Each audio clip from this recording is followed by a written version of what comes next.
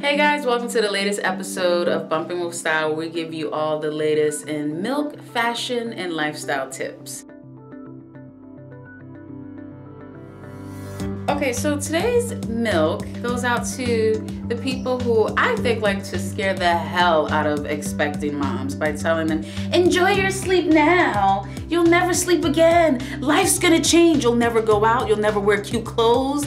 You're gonna have like milk all over you. It's just gonna be just depressing and it will break you. Okay, well that's encouraging.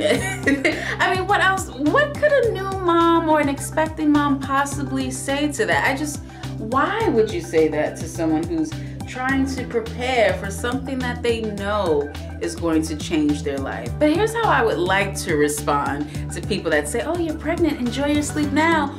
Do you say to soldiers when they're going out to war? Do you say enjoy breathing now because you might not ever come home? No, you encourage them to do the best that they can do, be the best that they can be. And when you're pregnant, you're basically signing up to join this army of moms. So you need someone to say, hang in there, it'll get better.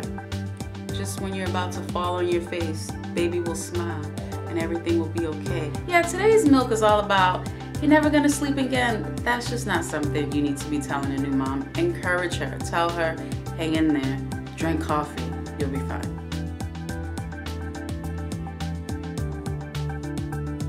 Okay, so let's start from the beginning. In the first trimester, your your body really hasn't changed that much, but your boobs are the first to grow. So I say show that off. Um, yeah, they're, they're just kind of fabulous around that time. So just, you know, invest in some V-cut shirts because for right now, that's what you've got to show before the belly comes out. If you're into that type of thing. If you're not, honestly, just keep dressing the way you normally dress in your first trimester. Okay, so for the second trimester, there really aren't too many drastic changes that are going on with your body, except that your belly area is starting to expand slightly. So it may look like you're bloated. It may look like you had a little eat last night, which may or may not be true. That's a whole other thing. Uh, so really just invest in things that have Lycra. There's a product out there that's called the Belly Band. You can find it on Amazon. I'm going to include the link for you guys so you don't have to go searching for it.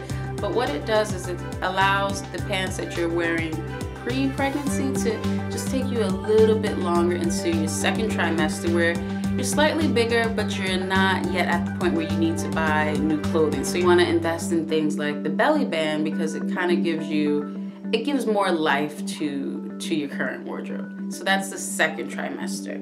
Now, in the third trimester, where you know you're tired, you're lugging this belly around, the last thing you want to do is go to a doctor's appointment and strip down, only to have to put your clothing on again.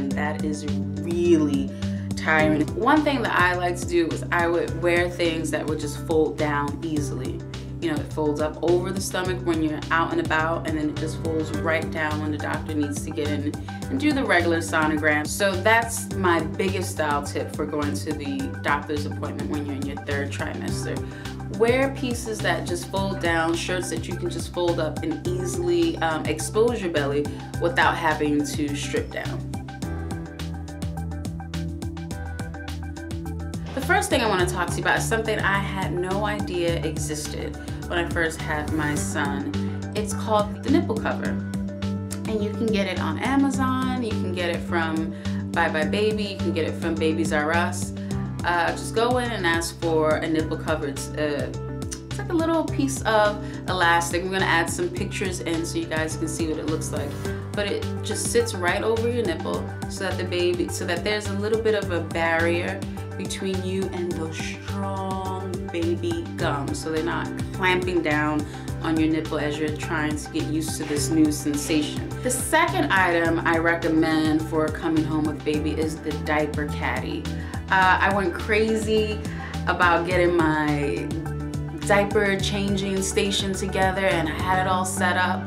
Newsflash, when you first come home, you may not be able to get out of bed. You may not be able to get off the couch every time that you need to make a diaper change. So what I did was I got a diaper caddy. I love the diaper caddy from Honest. The third item I recommend for coming home with a newborn is some type of nursing pillow. You might notice after a while you don't need it as much as you start to build up the endurance to keep your arms up. And just after a while you get more comfortable with nursing. But in the beginning, it's a workout and you definitely need support for your arms. Alright guys, that's it for Bumping with Style today. Thank you so much for tuning in. Don't forget to subscribe and if you want to keep up with all of the latest milk, fashion, and lifestyle tips, follow me on Instagram and see you next time.